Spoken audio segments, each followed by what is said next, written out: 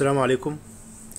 في الفيديو بتاع النهاردة نستكمل مع بعض تعلم أساسيات برنامج ال Excel بطريقة بسيطة وسهلة. ومن أساسيات برنامج ال Excel أداة في منتهى الأهمية وهي اسمها slicer tool. وال slicer tool دي نقدر من خلالها أو إن هي بتحل محل الفلتر لاستخراج البيانات الموجودة عندنا في الجداول. بطريقة مرتبة وسريعة. وهنعرف مع بعض إزاي هنطبق الأداة دي على الجدول اللي عندنا. فتابعوني وإن شاء الله نستفاد كلنا. أول حاجة المثال اللي قدامنا دلوقتي عبارة عن جدول لأسماء الموظفين وال ID بتاعتهم. كل واحد ليه ID أهو واسم الموظف والإدارة اللي هو شغال فيها وعمر الموظف قد إيه وال target هل هو حقق ال target أو لأ وعدد ساعات ال overtime اللي اشتغلها. طيب أنا مثلا لو حبيت أعرف إن الإدارة دي فيها كام موظف شغال مش هقعد بقى مثلا أختار آه والله محمد سالم ده ده من الإدارة دي مين تاني دي؟ أيوه ده إسلام ناجي مين تاني؟ مثلا وفاء عمر.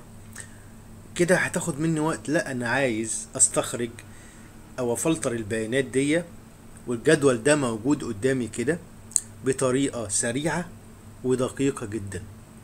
ولا مجهود ولا تعب ولا أخطاء. هنعمل إيه؟ أول حاجة هنحدد النطاق بتاع الجدول كده بتاعنا كله بالشكل ده لغاية آخره كده. وبعد كده هنضغط على control T من ال keyboard control T هنضغط control وبعديها حرف ال T وإحنا دايسين على ال control حرف ال T نتأكد إن ال keyboard بيكتب إنجليزي. control T بالشكل ده. حدد لنا شكل التحديد. اختلف وبقى عامل زي الشرط كده. وبعدين هنضغط OK هو طبعا بيقول لك إن النطاق بتاعك الجدول ده اللي أنت حددته موافق هتقول له موافق. أول ما تضغط موافق بالشكل ده هتظهر لك فوق حاجة اسمها إيه؟ table tools وتحتيها design تمام؟ طيب. إحنا هنختار بالشكل ده ال design أهو.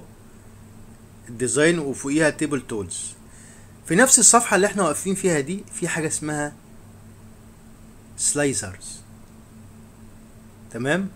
اللي هو insert slicer.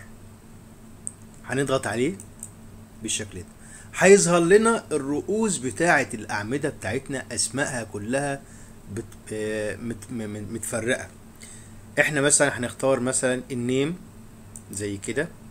ما كل ده مكتوب عندي ال ID ال ID مكتوب اهي name مكتوب ال name. ال department اللي هي الإدارة مكتوبة.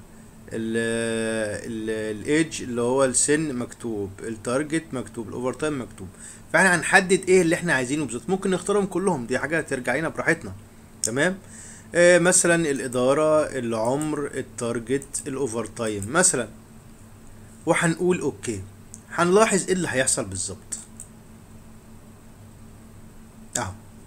ظهر لنا نوافذ لكل قايمة أو لكل آه، راس عمود إحنا عاملينه كاتبينه باسمه لوحده.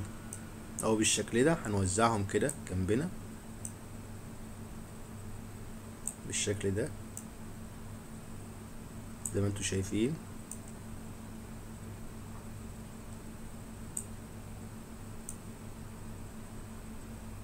كده. بالظبط. طيب. طب إيه فايدتها؟ مثلا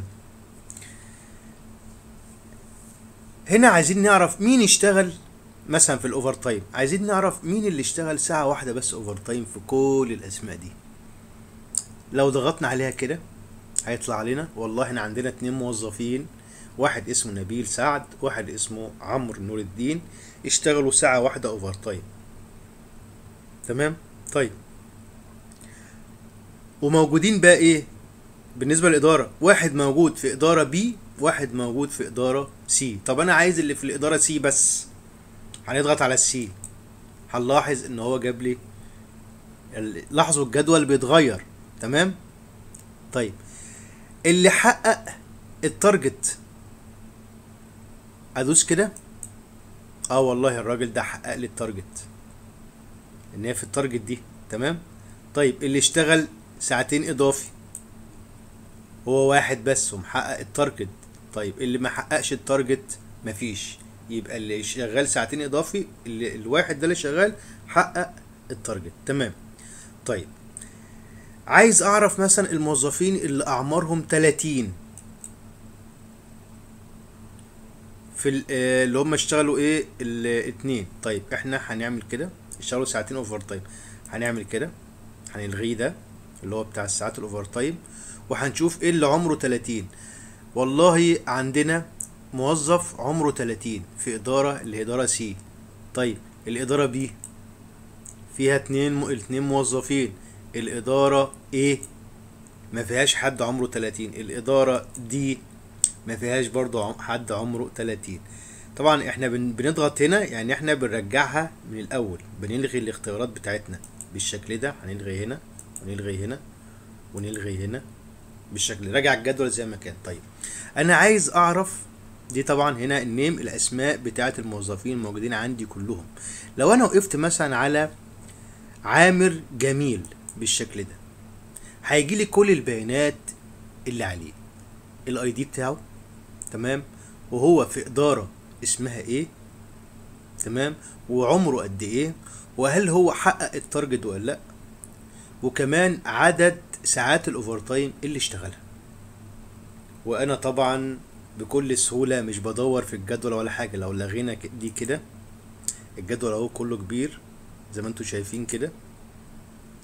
لو جيت أدور فيه هتوه ممكن أتلخبط في حاجات كتير.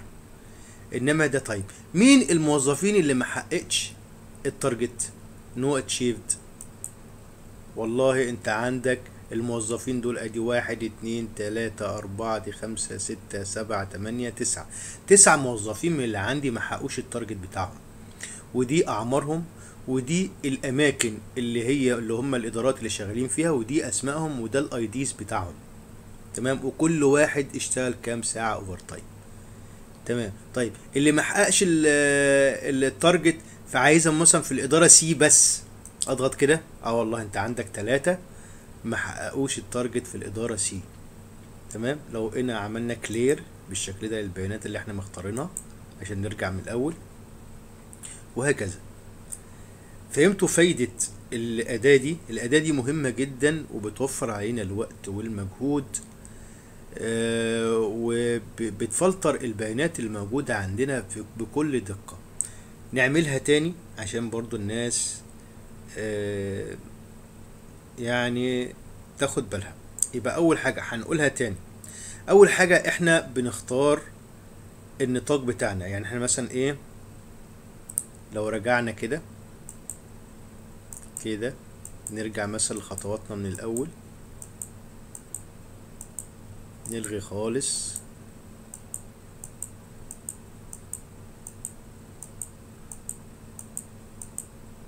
بالشكل ده أهو. لغيناها بالشكل ده. اهي نرجع كمان واحدة. اهو إحنا عايزين نعمل السلايزر تول نعملها إزاي؟ أول حاجة إحنا بنحدد الجدول اللي إحنا عايزين نعمل عليه الأداة دي كده بالشكل ده. وبعد كده بنضغط control T وبعد كده بنضغط okay بالشكل ده. هتظهر عندنا فوق حاجة اسمها table tool وتحتيها design هنختار حاجة اسمها insert slicer. بالشكل ده هيظهر لنا ال head بتاع كل عمود العنوان بتاع كل عمود. لو أنا طبعا عايز أنا مثلا إيه أنا اللي يهمني مثلا إيه الإدارة وحقق ال target وعلى الساعات ال overtime مثلا ده اللي يهمني. في واحد يهمه كل البيانات. وأعمل okay أهم كلهم ظهروا هنقلهم كده وأخليهم جنبي. بالشكل ده. تمام؟ إحنا بنعيدها عشان اللي ما اللي ما فهمش في الأول يفهمها تاني معانا. اهي هي سهلة جدا وفي نفس الوقت مفيدة جدا. لو حبينا مثلا نقول مثلا الإدارة اللي هي اسمها A أنا عندي أربع إدارات A B C D. طيب الإدارة اللي هي D دي مين شغال فيها؟ لو ضغطنا عليها والله أنت شغال فيها الموظفين دول. عندك أهو واحد اتنين تلاتة أربعة دي خمسة ستة سبعة سبع موظفين شغالين في في الإدارة دي. تمام. طيب اللي حققوا ال target كام واحد فيهم؟ والله اللي حقق ال target أربع موظفين بس. تمام. كويس أوي. طيب اللي اشتغل ثلاث ساعات overtime بس فيهم مين؟ والله هو واحد بس اللي هو إسلام ناجي. وهكذا.